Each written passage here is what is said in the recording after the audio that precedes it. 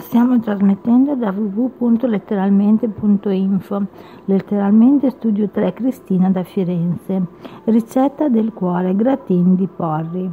Un chilo e mezzo di porri, uno scalogno, olio extravergine d'oliva, 200 g di salsa di pomodoro, un terzo di litro di panna da cucina, sale e peperoncino rosso in polvere.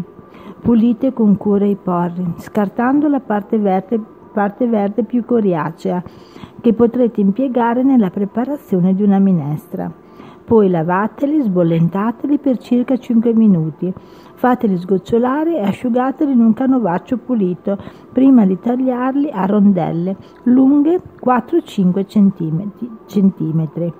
Tritate lo scalogno Ponetelo in una teglia da forno con poco olio e lasciatelo su un fuoco moderato sin quando diventi trasparente. Togliete allora la teglia dal fuoco e coprite nel fondo con la salsa di pomodoro, disponendovi sopra i porri. Versate la panna in un tegame a parte, portatela a ebollizione e riducetela a fuoco moderato in modo che si addensi. Salate i porri, insaporiteli con un pizzico di peperoncino e nappate con la panna, lasciando infine in forno per riscaldato per circa un quarto d'ora. Sfornate il gratin quando avrà assunto un bel colore e servitelo caldo.